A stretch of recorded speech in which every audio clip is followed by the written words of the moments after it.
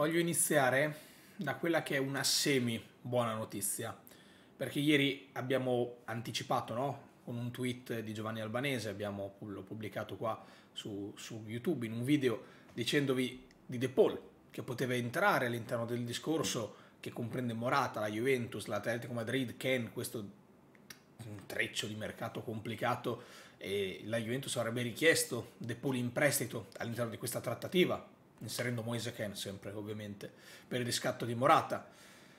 Profilo che a me piace, sinceramente, rimangono dei dubbi sulla formula perché, ribadisco, per riscattare Moise Ken, ragazzi, servono più di 30 milioni di euro che dovresti rigirare all'Atletico per Morata e allora capisco poi l'inserimento di De Paul, ma in prestito in che modo?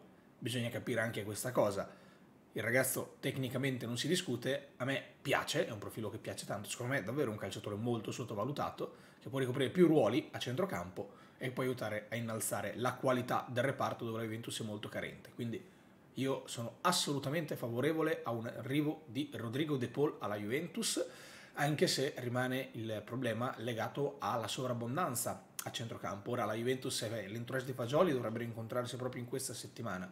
Bisogna capire intanto che cosa vogliono fare, perché ovviamente l'idea è rinnovare, andare avanti insieme e questo bisognerà assolutamente metterlo sul piatto. Poi bisogna capire, rimarrà però all'interno della rosa della Juve? Punto di domanda. Perché con Pogba la Juventus, lo sappiamo, ha 12 centrocampisti in rosa, quindi bisogna prima farsi un'idea sotto questo punto di vista. Però io non posso svegliarmi la mattina e leggere che Anzi, facciamo un passo indietro perché ultimatum di Maria. Io ieri vi ho detto la situazione di Maria mi ricorda quella su Ares, e cioè tanto parlare di un campione che poi alla fine non arriverà. Ieri sera Romeo ha detto sensazioni negative e gli altri giornalisti come Giovanni Albanese, come la Gazzetta, hanno riportato un vero e proprio ultimatum a Di Maria di 24 ore, del senso decidi se dentro o fuori, e ci sta, ci sta, perché la Juventus non può inseguire in eterno Angel Di Maria e quindi ci sta a dargli un ultimatum, perché sennò poi bisogna cambiare obiettivo di mercato. Però l'obiettivo di mercato, ragazzi, principale del post Di Maria non può e soprattutto non deve essere Domenico Berardi. Non può.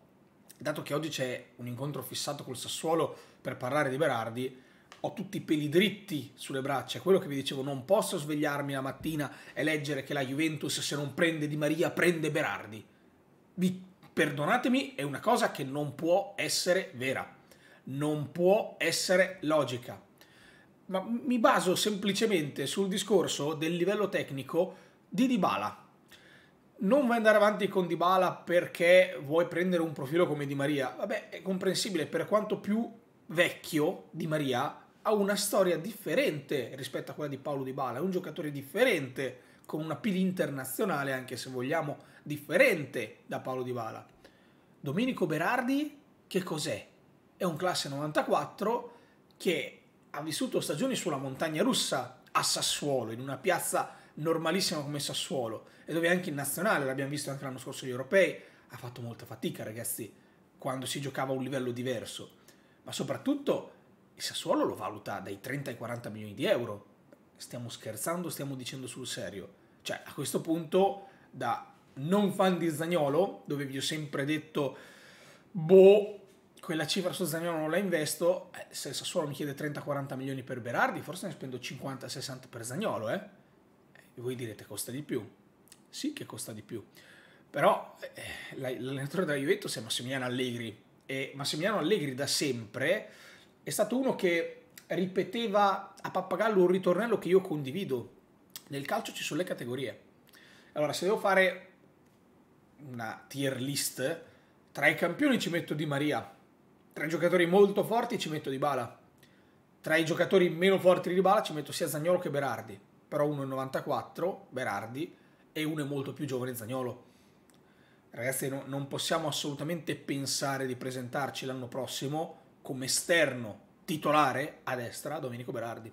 Per quanto venga da una buona stagione, per quanto abbia fatto tanti gol e tanti assist, per quanto in totale a Sassuolo abbia fatto molto bene, la Juventus semplicemente non può, per quanto mi riguarda, eh, poi magari anche qua mi sento sempre Cassano quando dico questa cosa perché ormai è diventato un meme ed è entrato nel cervello di tutti un tarlo che mi logra. Opinione mia personale, magari sbaglio, però io non posso credere che la Juventus, che sta cercando questa fantomatica rivoluzione, che sta cambiando tanti giocatori, che vuole innalzare il tasso tecnico, possa passare da silurare di Bala senza presentargli nemmeno un'offerta a trattare Di Maria, che è un campione, è inutile parlare, è inutile girarci intorno, Di Maria è un campione, a dare un ultimatum a Di Maria giusto, ma per poi passare su Berardi. Cioè, è possibile che non ci siano altre idee? Non ci sono altri profili?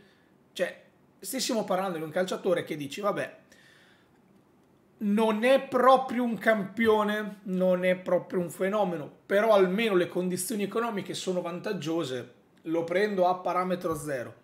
No, qui stiamo parlando di un calciatore che non è assolutamente al livello, che non ti alza il livello della Juventus, non è un giocatore di quelli che ti fa la differenza sempre e costa tanto e non è nemmeno giovane perché è un 94 io non riesco a spiegarmela questa, cioè veramente non, non posso, io non posso credere che la Juventus possa davvero trattare Berardi e che possa spendere 40 milioni di euro per Berardi. Non, davvero non posso crederlo. E ancora una volta vi dico, mi ricorda terribilmente l'estate in cui trattiamo Suarez. Trattiamo Suarez, andiamo su Geco e prendiamo Morata.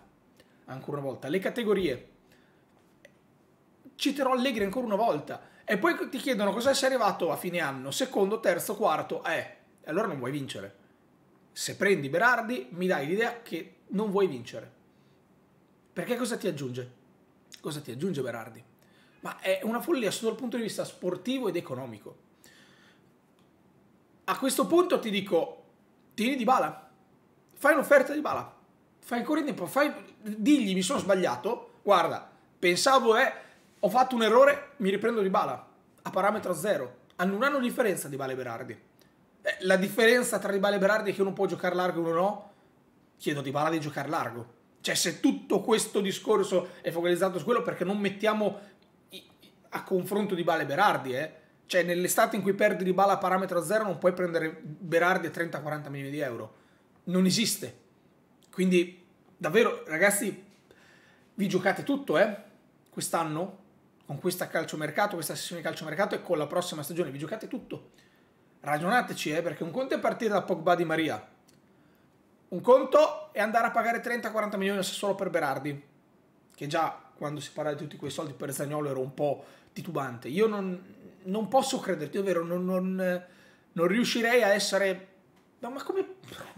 Il punto è che lo riporta Romeo, lo riporta Gazzetta, lo riporta Sky Sport, cioè non è che sono ancora letto, no, non è un brutto sogno, sono sveglio, sono vivo, la Juventus, vabbè, io non, non riesco veramente a, ma, ma, banalmente sembra che non esistano altri giocatori nel mondo in quella posizione, non ci sono altri giocatori all'infuori dei fenomeni e di quelli che giocano in Italia, ragazzi, ma eh, avere un, una rete di scout significa anche individuare profili che magari non sono così conosciuti in questo momento, ma che hanno un gran potenziale. Non, non c'è un giocatore sul mercato europeo che gioca alto a destra che con 40 milioni lo prendi, più forte di Verardi. Non c'è? Ma, guardate, delle due prendo Gareth Bale a parametro zero, che secondo me non è più un calciatore, che non ha più la mentalità di calciatore. Gli do 10 milioni all'anno col decreto crescita, piuttosto che Berardi, e, e ci risparmio. No dai ragazzi, su, per favore, cioè, non, non, non, non fatemi arrabbiare subito di prima mattina. Buongiorno anche a voi.